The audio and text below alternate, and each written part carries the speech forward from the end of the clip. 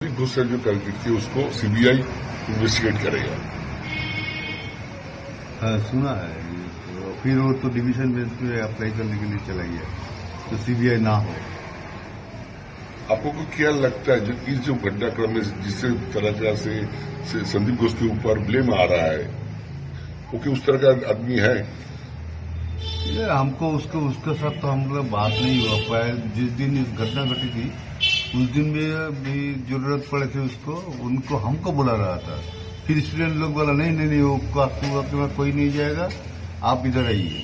फिर आया था लेकिन हमसे कोई बात नहीं की। आप लोगों का ये जो डिसीज़न हाईकोर्ट ने दिया ये सही मानते हैं आप? जाँच होना चाहिए इसका। सब कुछ तो सब एक नागरिक होने के नाते सब तो सबको तो लगता है जो सब ठीक ठाक चले लेकिन ठीक ठाक नहीं चल रहा है ये तो हम सब लोग देख रहा है सबका अभी मालूम पड़ गया। अभी तक जो इन्वेस्टिगेशन में उठ के आ रहा है जैसे सुप्रीम कोर्ट ने कोर्ट में जाके सीबीआई ने बताया है इसको लेके आप लोगों का क्या बोलना है? सीबीआई भारत के सबसे बड़ा और अच्छे एजेंसी है जो सब काम निपटत निपटत है। लेकिन ये काम में जो तेरह दस दिन उन्होंने चार्ज लिया अभी तक कोई तो अच्छा रिज़ल्ट नहीं आया है। फिर हम मांगेंगे कि उसके साथ वो आप जल्दी से जल्दी सख्त और कार्रवाई करके दोषी को कड़ी से कड़ी सजा दे।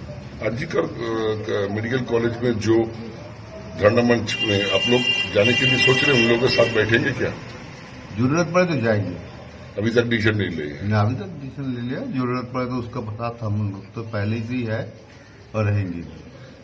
जैसे जो भारत विरोधी पार्टी जो बोल रहे हैं जो ममता बनर्जी का यहाँ पे उसको पदत्याग करना चाहिए। आप लोग को क्या ये पूरा राजनीति का विषय है वो राजनीतिक दल समझेंगे। हमको कोई बात नहीं है। आपका इस घटना को लेके जिस तरीके से जो जिस पोजीशन से आप लोग मांग रहे हैं जस्टिस उस पोजीशन की आपके साथ भी बैठे जस्टिस मांग रहे हैं। इसको क्या बोलना चाहेंगे? ये तो हमको समझ में नहीं आ रहा है। जो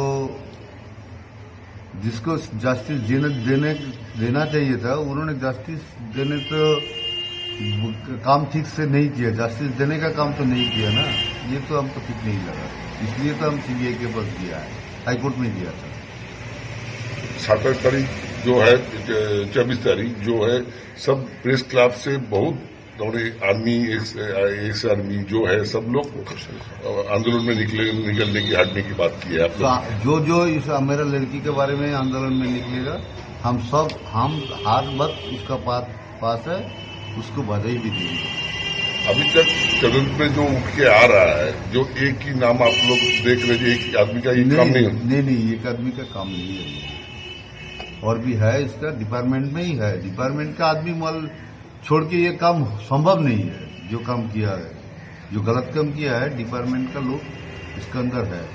पॉलीग्राफ टेस्ट के लिए संजय राय को ले, ले जा रहा है। आपको क्या कहना है जी पॉलीग्राफ टेस्ट करने से कुछ सब क्या है हम लोग का कोई मालूम नहीं है।